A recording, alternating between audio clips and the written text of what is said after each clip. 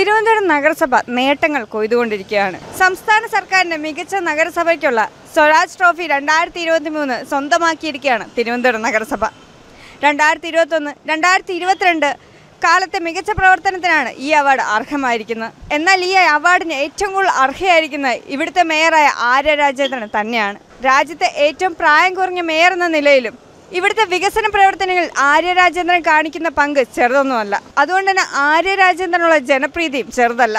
കത്ത് വിവാദം പിൻവാതിൽ വിവാദവുമല്ല ആര്യ രാജേന്ദ്രന് ഉയർന്നിരുന്നുവെങ്കിലും അതൊന്നും തന്റെ പ്രവർത്തനങ്ങളെ ബാധിക്കാത്ത രീതിയിൽ നല്ലൊരു ഭരണം കാഴ്ചവെക്കാൻ ആര്യ രാജേന്ദ്രന് സാധിച്ചിട്ടുണ്ട്.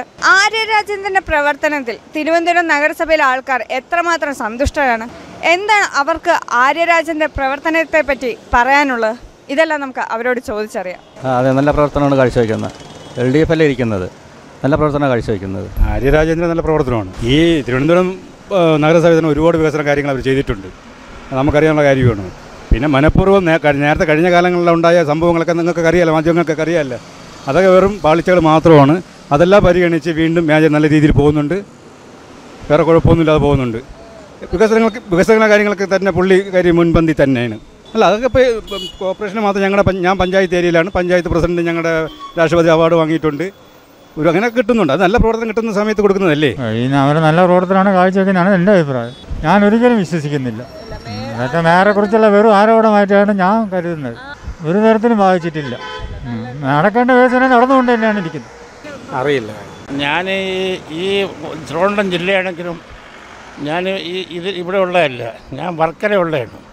പക്ഷേ ഇവിടെ സ്വജനപക്ഷപാതമായിട്ടാണ് പത്രത്തിലൊക്കെ വായിക്കുന്നത്. അതായത് സ്വന്തമായിട്ടുള്ള പാർട്ടിക്കാരെയൊക്കെയാണ് ബാക്കി കൂടി കയറ്റി വിടുന്നതും. പിന്നെ ഇപ്പോഴത്തെ കാലഘട്ടത്തിലാണെങ്കിൽ എന്തൊരു ഭരണമെന്ന് പോലും പറയാൻ ഒക്കാത്ത ഒരു സാഹചര്യമാണ്.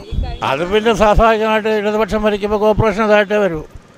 അല്ലാതെ ജനങ്ങൾക്ക് ഉള്ള ഇത് വേണ്ട. ജനങ്ങൾക്ക് എന്ന് വെച്ചാൽ അവരുടെ പാർട്ടിയിലുള്ളവർക്കല്ലേ തിരുമുറ കാണിച്ച് എല്ലാം കൊടുക്കുകയും മേടിക്കുകയും ചെയ്തു അപ്പോൾ അവർ കൂടുതലും അവർ പറയും അവർ ഇതാണ് ഏറ്റവും നല്ല ഇതെന്ന് പറയുന്നത് അങ്ങനെയാണ്. കോർപ്പറേഷൻ ആകപ്പെടെ നാല് കോർപ്പറേഷനാണ് കണ്ടേറുള്ളത് അപ്പോൾ അവർ ആ കോർപ്പറേഷൻ അവർ ഭരിക്കുന്നിടത്ത് തന്നെ. അപ്പോൾ അവർ തിരുവനന്തപുരത്ത് കൊടുത്ത് അത്രയേ ഉള്ളൂ.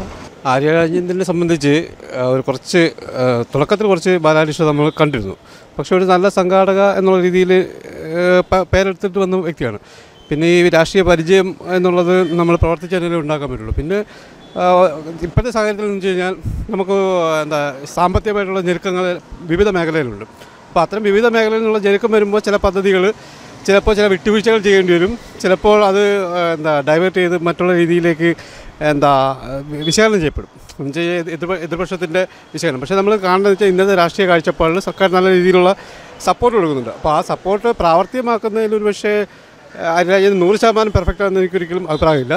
എങ്കിലും ഒരു എൺപത് ശതമാനം ആ കുട്ടി നന്നായിട്ട് വർക്ക് ചെയ്യുന്നുണ്ട്. അതെ അത് നമ്മൾ അംഗീകരിക്കണം. കാരണം ഇതിനേക്കാൾ പിന്നെ എന്താ പക്വത ഉള്ളവർ പോലും വളരെ മോശമായ രീതിയിൽ പ്രവർത്തനം കാഴ്ചവെക്കുന്ന രാജ്യത്താണ് നമ്മൾ ജീവിക്കുന്നത്. നമ്മൾ കേരളത്തിൽ ഒരുപാട് പ്ലസ് പോയിന്റുകളുണ്ട് അപ്പോൾ ആ പ്ലസ് പോയിന്റ് തുടർച്ചയായിട്ട് ആ കുട്ടി ചെയ്യുന്നതിന് ചിലപ്പോൾ കുറച്ച് മൈനസും ഉണ്ടാവാം. കാരണം നല്ല കാഴ്ചപ്പാടുള്ള കുട്ടിയാണ്. അതിനുള്ള അവസരം കൊടുത്താൽ ചിലപ്പോൾ ഒരുപക്ഷെ പറ്റുമായിരിക്കും. നല്ല വ്യക്തിപരമായി എനിക്ക് നല്ല അഭിപ്രായം തന്നെയാണ്. പക്ഷേ ചില കാര്യങ്ങളിൽ എടുത്തിയാട്ടം കുറച്ച് ഉണ്ട്.